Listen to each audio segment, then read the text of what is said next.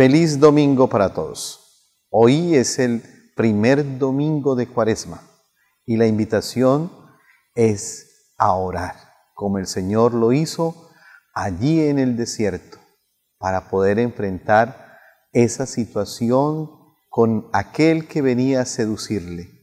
Así también nosotros estamos cordialmente invitados a hacer esa oración con Él porque bien sabemos las situaciones mismas de desierto que se nos presentan en nuestro caminar, las duras luchas que hay cada día para poder enfrentar a aquel que viene con la intención de, de quitarnos esa alegría, ese amor de Dios, esa gracia de perdón que todos debemos facilitar a quienes están a nuestro lado.